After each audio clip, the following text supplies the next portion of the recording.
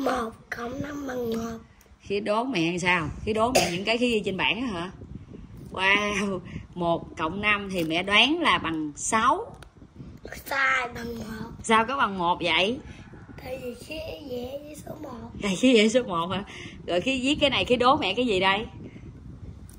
Một cộng trừ bằng hai sẽ thế nào? Một cộng gì?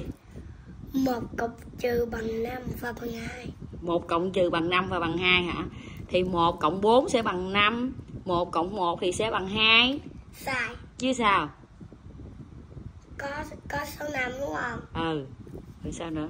Vậy vậy có thêm một số năm nữa. Có thêm số 5 nữa. Trời ơi vậy số 5 hay quá ta. Ôi hay quá giỏi quá. Rồi số 6 viết thì sao? Về một số bốn. À thêm một số 4 nữa hả? Trời ơi hay dữ. Wow